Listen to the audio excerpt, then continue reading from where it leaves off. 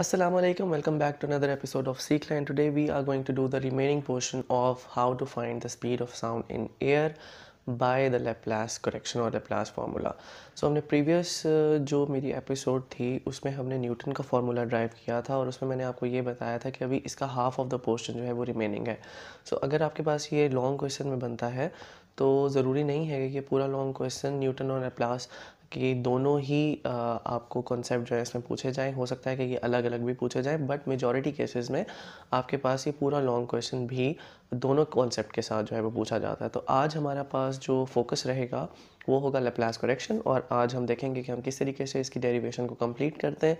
So stay with me और देखते रहिए और रमज़ान में चूँकि रूटीन थोड़ी सी टफ़ होती है तो इसलिए एपिसोड थोड़ा सा डिले के साथ आ रही हैं बट ऐसा नहीं है, लेकिन एपिसोड्स आपके कंप्लीट हो जाएँगे अप टिल आपके जब तक पेपर्स होते हैं। So without wasting further time चल के देखते हैं कि आज हमारी डेरिवेशन कैसे होनी है, और yes let's just go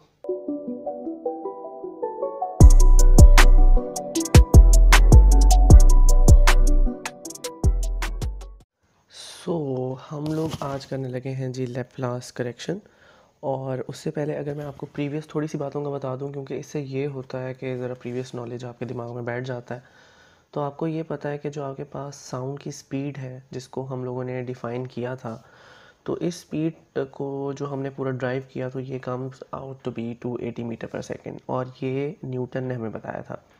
जिसका फार्मूला वैसे तो ई ओवर डेंसिटी था which is elastic modulus over density लेकिन न्यूटन ने उसको प्रेशर ओवर डेंसिटी में कन्वर्ट किया था।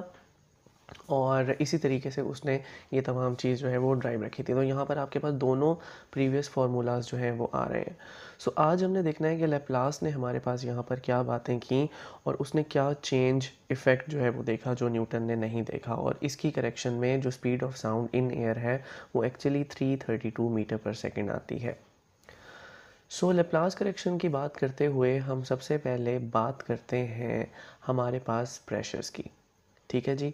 और प्रेशर और रैपिड चेंज ऑफ़ टेम्परेचर जो हमारे पास जब भी आप साउंड प्रोड्यूस कर रहे होते हो तो वो कैसा रहता है? क्योंकि साउंड वेव्स आपके पास यहाँ पर मैकेनिकल वेव्स हैं और मैकेनिकल वेव्स ऐसी वेव्स होती हैं जिनको मटेरियल मीडियम रिक्वायर होता है एक जगह दूसरी जगह जाने के लिए और ना सिर्फ़ मटेरियल रिक्वायर होता है बल्कि साथ साथ ये कंप्रेशंस और रेयर फैक्शंस करते हुए एक जगह से दूसरी जगह पहुँचती हैं।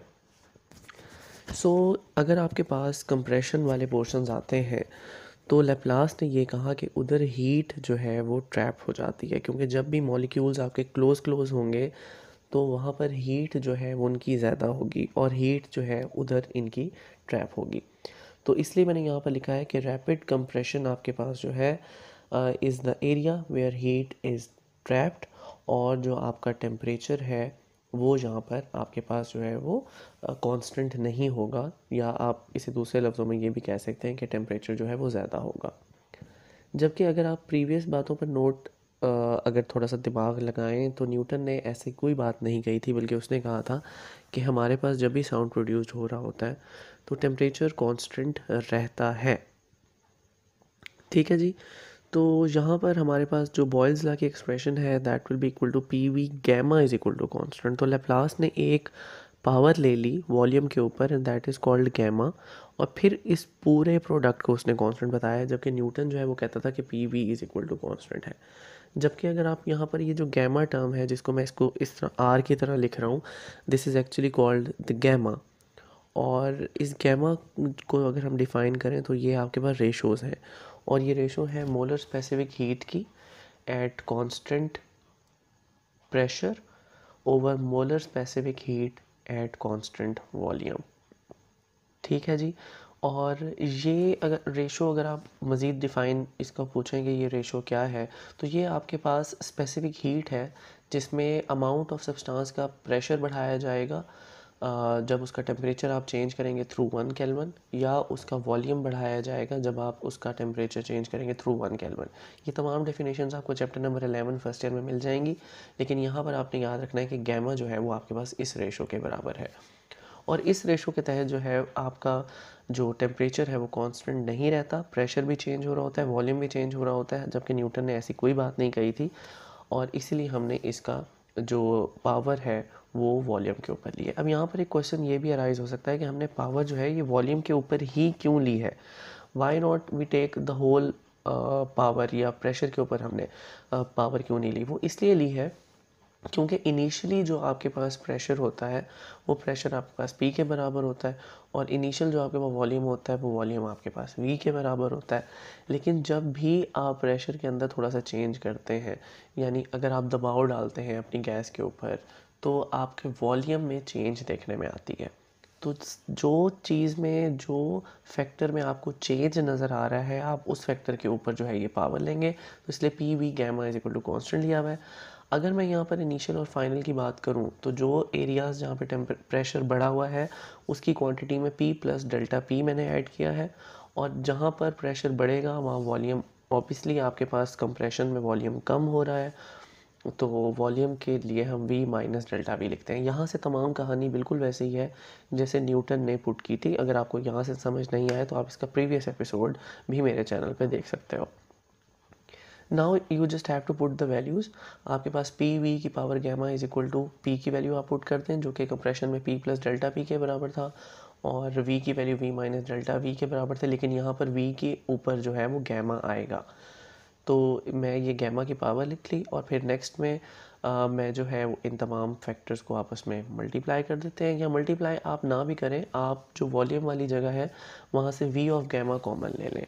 It is a matter of common observation कि जब आप एक ऐसी चीज़ जिसमें से वी ऑफ़ गैमा कॉमन लेते हैं तो नेक्स्ट वाली टर्म में डेल्टा वी ओवर वी आ जाएगा, क्योंकि अगर आप वी गैमा को अंदर मल्टीप्लाई करेंगे तो वो सेम चीज़ बन जाएगी। नाउ आपके पास लेफ़्ट और राइट हैंड साइड पे वी ऑफ़ गैमा है, और इसको आप कैंसिल कर दें, और अब ये जो ब्लू में आपको नज़र आ रहा है, ये वो इक्वेशन वन है, जो कि सिंप्लीफाई होकर बनी है। ये जो टर्म आपको नज़र आ रही है, जिसमें one minus delta V over V की पावर गैमा लिखी गई है, इसकी पावर कॉम्प्लेक्स है। और कॉम्प्लेक्स पावर जब भी आप सॉल्व करेंगे, उसके लिए आपको बाइनोमियल थ्योरम लगाना पड़ेगा। मेरे वो वाले बच्चे जो कि इंजीनियरिंग में हैं, उनको बाइनोमियल थ्योरम का इजीली पता होता है क्योंकि वो लोग ये मैथ की एक्सरसाइज में कर रहे होते हैं चैप्टर नंबर एट में। लेकिन मेडिकल वाले बच्चों के लिए ये एक नया फॉर्मूला है तो इसको आप देखेंगे किसके इक्वल है।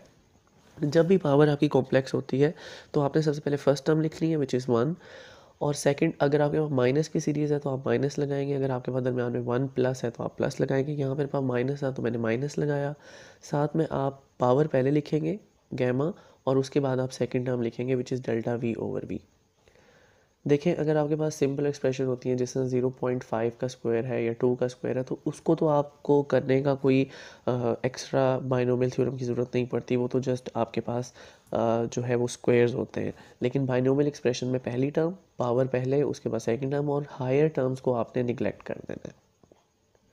इफ़ यू वांट तो आप मुझे कमेंट्स में बताइएगा कि हायर टर्म्स यहाँ पे क्या होती हैं लेकिन आई गेस यहाँ पर उसकी ज़रूरत नहीं है। तो हम इसको यहाँ पर नहीं लिख रहे हैं और मैंने वहाँ पर निगलेक्टेड टर्म्स लिखी हैं। सो so, अब आप जल्दी से जी आ, इसको खोलते हैं विद बाइनोमियल एक्सप्रेशन तो P plus delta P same रहेगा लेकिन इक्वेशन वन में one minus delta V over V की जगह one minus gamma delta V over V आएगा। That can be explain by binomial अब आप इसको मल्टीप्लाई कर लें जी। तो ये P plus delta P one के साथ मल्टीप्लाई हुआ है तो ये बना है। और उसके बाद ये सेकंड टर्म जो है, वो आपके पास फ़र्स्ट टर्म के साथ मल्टीप्लाई हुई है, फिर जो सेकंड टर्म है, वो सेकंड टर्म के साथ मल्टीप्लाई हुई है तो ये आपके पास चार एक्सप्रेशन जो है, वो बन गई है। अब ये वाली जो आपके पास लास्ट एक्सप्रेशन है, इसमें आप देखें, आपके पास डेल्टा पी डेल्टा वी आ रहा है। डेल्टा स्मॉल चेंज होता है और पीक प्रेशर के साथ भी डेल्टा आ रहा है वॉल्यूम के साथ भी डेल्टा है तो दोनों को मैंने निगलेक्ट कर दिया है। लेफ़्ट एंड राइट साइड पे आपके पास दोनों प्रेशर सेम है प्रेशर्स को भी आप काट लें तो आपके पास लेफ़्ट हैंड साइड पे ज़ीरो बचेगा और remaining term delta P minus gamma P delta V over V होगा। अब आप नेगेटिव टर्म्स को उधर ले जाएँ तो आपके पास gamma P delta V over V होगा is equal to delta P बचेगा। और यहाँ से आप जो है वो गैमा पी अलग कर लें तो डेल्टा वी ओवर वी आप दूसरी साइड पे ले जाएँ। अगर आप ध्यान दे रहे हैं तो ये बिल्कुल वैसी ही एक्सप्रेशन बनी है जैसे मेरे पिछले एपिसोड में न्यूटन के फार्मूले में बनी थी।